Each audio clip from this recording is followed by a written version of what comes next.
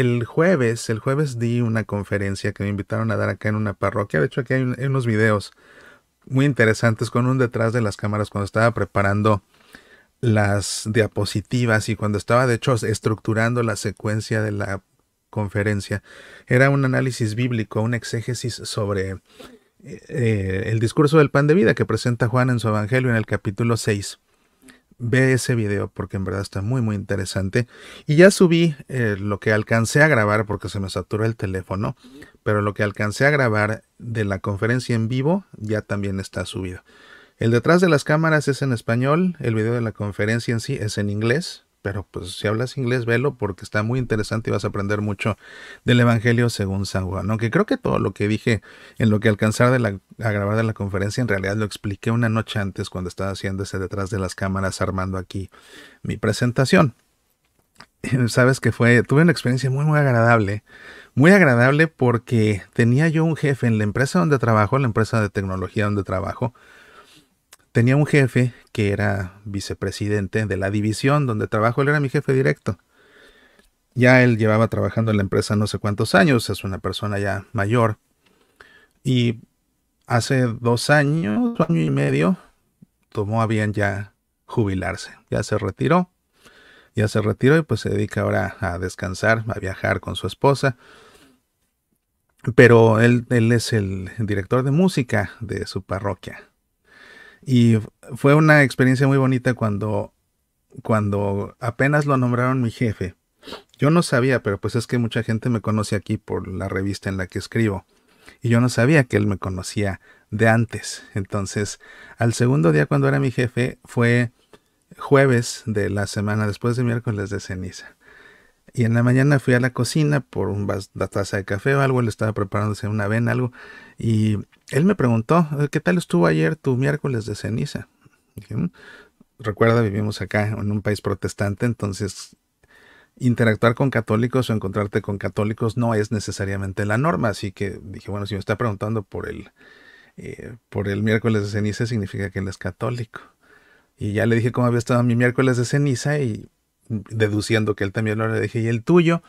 Y ya me, dijo, ah, pues estuvo bien, pero como tuve que tocar en la, en la misa, porque soy el director de música en la parroquia y coincidió con la misa de la escuela de los niños, se alargó muchísimo y tenía yo que correr acá a una junta y llegué tarde a la junta. Y... Vaya, entonces de ahí, esa conexión católica de los dos fue muy bonita, la relación que tuvimos realmente se desarrolló una amistad muy, muy bonita. Pues se jubiló y hemos tenido muy poco contacto. Eh, ya sabes, la vida pues te va atrapando en, las obligaciones, entonces no tengo tanto contacto con él como, como me gustaría. Pero me sorprendió muchísimo que fue a la conferencia con su esposa. Eh, verlos ahí me, me sorprendió mucho, me alegró mucho y me dijeron que desde que vieron que me anunciaron, lo marcaban en el calendario y dijeron, esta no nos la vamos a perder porque tenemos que ir a oírte. Y qué bonito fue, qué bonito en realidad sentí que pues era una persona mayor que tenía mucha autoridad en la empresa, que era mi jefe y todo. Eh, pues vamos, que vino para aprender acerca de la fe, eh, y me saludó con un cariño que, que, realmente me sobrecogió, un abrazo tan largo, tan, tan afectuoso que acá en Estados Unidos que ni la mano te dan, realmente eso dice muchísimo. Yo pues le di muchas gracias a Dios y si fue por, al menos por la presencia de él y de su esposa, yo creo que valió la pena la conferencia, toda la gente salió muy satisfecha, pero sí fue una experiencia muy bonita esa de la, de la conferencia que di. Y me quedé pensando cómo ha sido muy interesante que prácticamente con todos los jefes que he tenido en mi vida, he tenido un impacto en el nivel de la fe. Sin yo hacer nada, ¿no? Yo no llego a evangelizar, pues yo a la oficina voy a trabajar. Pero según me han comentado varios de mis antiguos jefes, mi forma tan natural de vivir la fe, dicen, es algo que los ha impactado, que los ha de alguna forma contagiado. Y a posteriori, cuando ya se retiran y tenemos oportunidad de ir a comer a veces o algo, siempre ellos sacan a colación el tema de la fe y me empiezan a hacer preguntas y, y, es, es, una sensación bonita, bonita influir así en, en, mis jefes. La verdad es que sí. Te agradezco mucho tu tiempo para ver este video aquí en esta bitácora nocturna de tu amigo Mauricio Pérez. Hasta la próxima.